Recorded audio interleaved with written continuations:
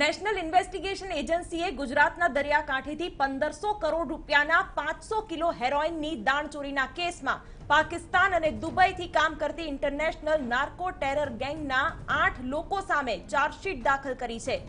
NIA કરેલી તપાસ મુજબ પાકિસ્તાનના નાગરિકો સાથે મળીને કામ કરતી ગેંગ ગુજરાતના દરિયાકાંઠે ત્રણ ટ્રીપમાં આ હેરોઇન લાવી હતી. આ ત્રણેય કન્સાઇનમેન્ટ પંજાબ મોકલી દેવામાં આવ્યા હતા.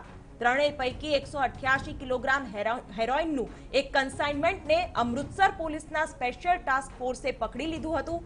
તમામ ત્રણ કન્સાઇનમેન્ટ પંજાબ મોકલવામાં આવ્યા હતા, જે પૈકી એકસો અઠ્યાસી કિલોનું એક કન્સાઇનમેન્ટ પકડી પાડવામાં આવ્યું હતું. તપાસમાં પાકિસ્તાન, ગુજરાત અને પંજાબના નાર્કો સ્મગલર્સની લિંક સપાટી પર આવી છે. આ કેસ ગુજરાત દેવભૂમિ દ્વારકા જિલ્લાના સલાયા ગામમાંથી પકડાયેલ પંદર કરોડના હેરોઇન સાથે પણ સંકળાયેલા છે.